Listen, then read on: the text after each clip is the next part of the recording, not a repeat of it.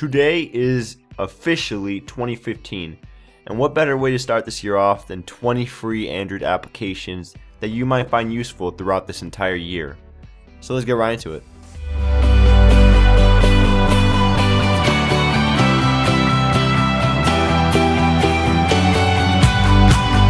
There are two parts to this video. On my How To channel, I will show you the first 10 applications and you can find the other 10 applications on my second channel called Android Techman, and I will have that in the description to go check out, but let's get right into it. 1. Cram. Cram is an image compressor application to shrink the size of your pictures so they won't take up too much space on your phone. Nowadays, pictures that you take on your phone are usually 2 to 5 megabytes in size, which is unnecessarily huge. With this app, you won't need to worry about the size being an issue. The image quality stays the same, the dimensions are the same, the only thing that changes is the size from megabytes to kilobytes. 2. Live Boot. Live Boot requires root, but if you have root, this will be an application that you don't need, but you probably want. This will replace your boot animation with a logcat of what is going on when your phone is booting up your entire system. So when you click restart or you're powering on your phone, you basically get like a summary of what is going on in code but you obviously will not read it all. But it still looks cool because it makes you feel like a hacker or a boss. 3. AZ Screen Recorder. AZ Screen Recorder is a great application to record your screen with if you don't have root. Now you can select the resolution, enable audio recording, show touches, and enable a time limit. It's pretty awesome all the things that you can do and it's smooth and easy to use. The only downside would be that it's not supported for your phone, but you can check the link in the description to go check it out, see if it works. And if it doesn't, then I'm sorry, but if it does work, then yeah, congrats. 4. Minima Live Wallpaper. Minima is a live wallpaper that shifts shapes and colors on your home screen. As you scroll through your home screen, the shapes will shift, rotate, or move in a 3D parallax motion, and it looks awesome because a lot of people don't actually have this, and they're gonna be they're gonna be amazed. It's almost like you have a boring static wallpaper, but not really because when you scroll through it moves, and it sort of follows that material design look on Lollipop. There's also various different themes that you can choose from, and to be honest, I dig almost all of them. 5. Piktures. Piktures, spelled with a K, is the cleanest and most beautiful gallery app you will find. This application will organize your pictures in different folders so you can navigate through each photo easily. It also loads up your pictures extremely fast and you can filter each picture by a specific location if you scroll all the way to the left. There's also a cool feature which is a calendar. Basically there you can show which pictures you took each day to help you remember the past and see what you're doing that specific day. 6. Shuttle. Shuttle is a music player that follows the material design layout on Lollipop. The reason why this is a better music player in my opinion is because of the customization that you can do. In the settings, you can change how the main page looks, you can rearrange the category tabs, you can also change the overall color theme which is awesome, and you can add artworks to all your music, to your albums and all your music that you're playing.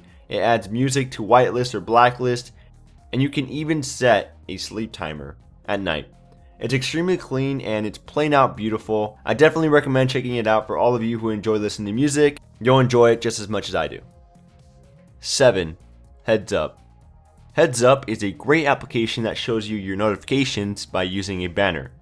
It's great for full screen applications or when you're watching a video because you can't see your status bar and when you have a notification it will pop up as a banner and it works just fine. You do not need root and you can change the theme as well of the way it looks and one last option before I move on is that it displays the expanded notifications so you can delete, move, copy, and interact with notifications besides clearing them. 8. Archon Packager. Archon Packager is the first application to let you run any application that is on your phone to your computer through Google Chrome. You can run Instagram, Twitter, games, and any application that you would use on a daily basis right on your laptop. I can see why a lot of people would still use this application and why it's so useful. It is a little complicated at first on how to use it, but I will leave a link in the description to a step-by-step -step tutorial that I made on how to use this application because you probably want to set it up first and and see how this thing works out. But once you get it, it's actually very awesome. So check that out. 9. Messenger. This is an application that will replace your current text messaging application and I will explain why. First of all, this messenger application is the official messaging application from Google besides Google Hangouts because it comes with the Nexus 6 and you know it's just plain out beautiful. Now this application is very simple to use. You just open the application and from the settings you can change this as your default SMS app.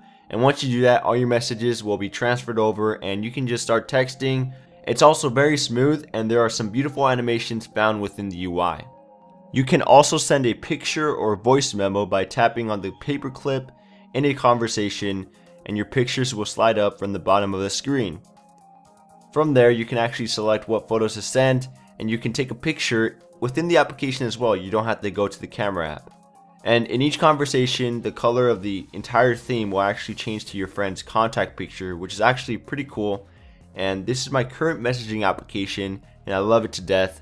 Hopefully, you guys will love it too, and I will leave the link in the description to go download it. 10.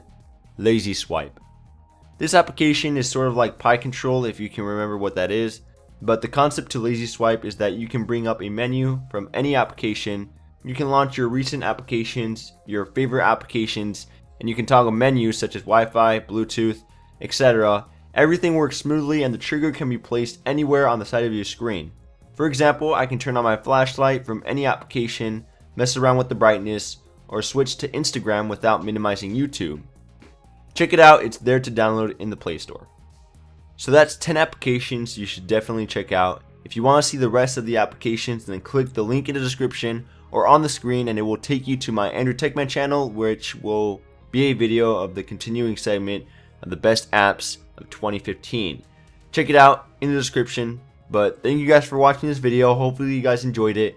Please give this video a thumbs up. I try my best to make content for you guys and it will help me out so much if you could just click that button.